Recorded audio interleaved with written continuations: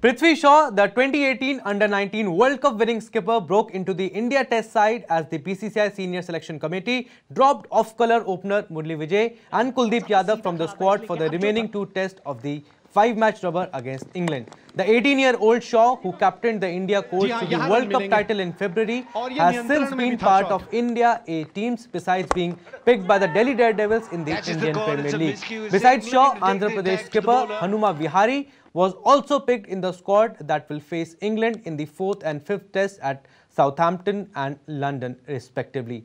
Both Shaw and Vihari are in great batting form, having each belted centuries against South Africa A earlier this month. They also impressed with the bat during their recent trip to England.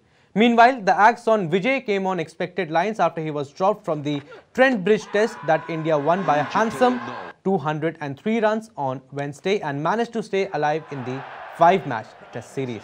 The 34-year-old Vijay, who played the opening two tests at Edgbaston and London, could manage just 26 runs in two matches. On the other hand, Kuldeep's selection under overcast conditions at Lords had already raised a few eyebrows and the Chinaman has now been sent back home to play for the India A team. India head coach Ravi Shastri said at the end of the third test that he hoped premier off spinner Ravichandran Ashwin to recover from his hip injury by the time the fourth test starts on August 30th. Left arm spinner Ravindra Jadeja is already waiting for his turn. To talk more on this, we are joined by Virendra Sehwag's coach A.N. Sharma on the phone line. Welcome to our show, sir. So, good call by the selectors to include Prithvi Shaw and Hanuma Vihari to the India squad for the uh, last two tests against England? Or do you think Murali Vijay should have been retained in the squad?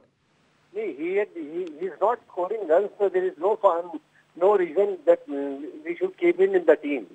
He, he shouldn't been, he should not have been included in the England team.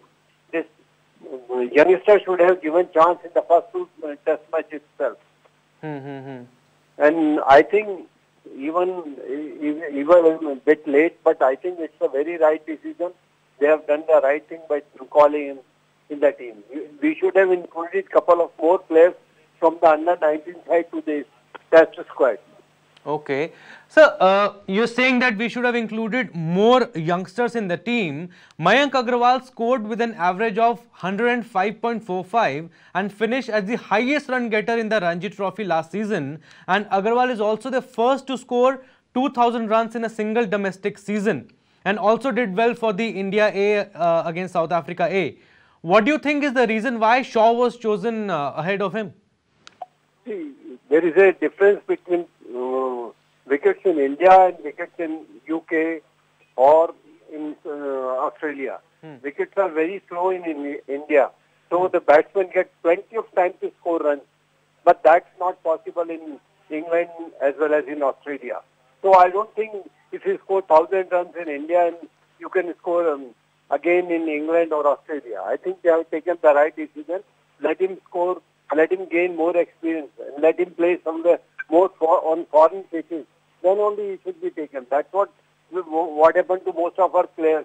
Even Cheteshwar, Cheteshwar Pujara, we, we call him a very solid batsman, but he's hmm. not scoring that much runs what he scored in the on Indian pitches. Yeah, yeah.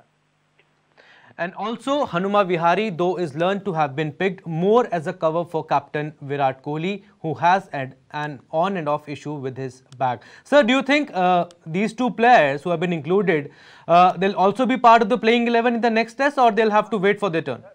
That, that's what I was going to tell. Let's keep our fingers crossed and hope that um, Virat Kohli includes them in the 11. Hmm. Sir, what's your opinion? Should they be included? Because uh, Shikhar Dhawan uh, played well in the last test match and uh, so has uh, KL Rahul. See, if you score, if you play 100, 100 matches and you score in the last couple of matches, that doesn't mean that you are a consistent player. I think both the youngsters should be given chance in the coming test matches. They, they should not be rested on the benches. Otherwise, it will be just sheer waste of their potential, what I, what I call. Hmm. So it's time. We are, if we are preparing or thinking of the World Cup next, then don't depend on the old players like this. We have to bring, bring all the youngsters in and train them like. Okay. And also, sir, the senior selection committee are also learned to have consulted with India A coach Rahul Dravid before deciding to hand the two youngsters a promotion to the big league. So, uh, do you think uh, it was the right decision by the senior selection committee to consult uh, India A coach Rahul Dravid? I think I have got great respect for Rahul and he will never uh, misguide anybody. I think they have taken the right decision and they should consult for some more players with the Rahul also. Okay, and the last question, sir. How do you see India's chances in the series now? They have got the momentum they were looking for? Very rightly said, they have got the momentum and they must keep it now. Hmm. They should not lose it. Now, if the, our batsmen score runs, we are bound to win. Nobody oh. can stop us. Hmm, hmm, hmm. So, uh, where do you see the series going, sir? You, what's your prediction? Uh, India leveling the series and then winning 3-2?